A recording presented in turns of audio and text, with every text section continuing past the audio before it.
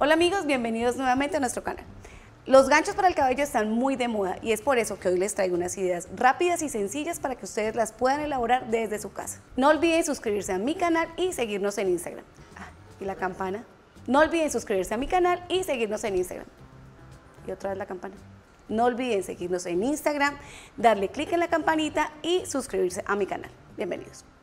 Bueno, aquí les voy a mostrar varios insumos con los que pueden realizar los ganchitos del pelo. En, estos momentos las perlas están muy de moda, entonces son muy fáciles de trabajar en los ganchos, ya que ellas son media, media bola como lo ven, es decir, tienen una, una parte de la perlita, es plana, entonces queda muy fácil poder colocarla en los ganchos, en las superficies de los ganchos. También tenemos las, eh, las florecitas en tela, también tiene una superficie plana, que es muy fácil pegarla, ya que se adhiere súper bien. Y esta es otra borlita, muy bonita, que tiene otra textura diferente y depende del largo del ganchito, pues podemos colocar varias florecitas. También está muy de moda los ganchos cristalizados, miren cómo se ven de lindo con diferentes cristales. Hoy les voy a mostrar cómo podemos trabajar con dos cristales. Tenemos que revisar antes lo que queremos pegar porque este pegante eh, pega casi que instantáneo. Entonces lo primero, yo cojo mi ganchito y lo voy a colocar sobre una plastilina, evitando que se me esté moviendo. Entonces voy a coger la perlita, la media plana, media bolita y la voy a comenzar a colocar en la superficie. Y se va a comenzar a correr un poquito, pues la idea es sostenerlo y lo vamos corriendo. Como les dije, dependiendo del tamaño del gancho, así mismo ustedes pueden calcular cuántas perlitas van a colocar. Entonces aquí estamos, ya lo dejamos quieto sin que nadie lo mueva y él ya queda ya queda bien pegadito. Entonces, esta sería los ganchitos de perla. Aquí les muestro otras opciones con unas perlitas más grandes y otro con unas perlitas más pequeñas.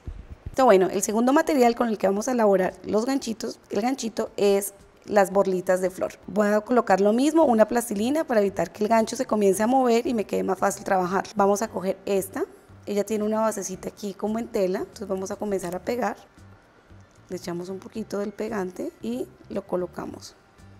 Le hacemos presión y soltamos. Hacemos lo mismo.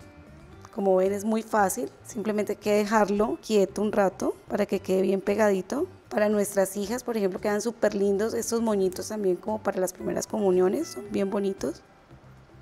O para nosotros y poderlos lucir.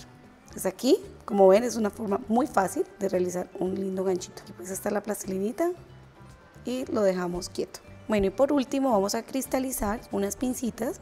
Como pueden ver, tenemos en forma de corazones y con unas estrellitas o también en un oval. Entonces vamos a coger las estrellitas de Swarovski y vamos a colocarlas en los settings que tienen aquí la, la pincita. Colocamos el cristal y con una herramienta punta plana vamos a doblar las uñitas que tienen cada setting, cada pestañita. Las vamos a doblar.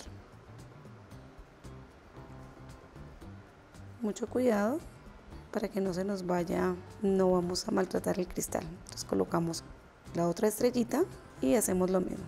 Comenzamos a cerrar las pestañitas. de esta forma, miren cómo nos queda linda la primer pincita. Y la segunda está en forma de corazones. Hacemos lo mismo, colocamos el corazón dentro del cristal, dentro de la pinza, dentro del setting, lo ubicamos, sostenemos con la mano, sostenemos con un dedito y vamos a doblar las pestañitas.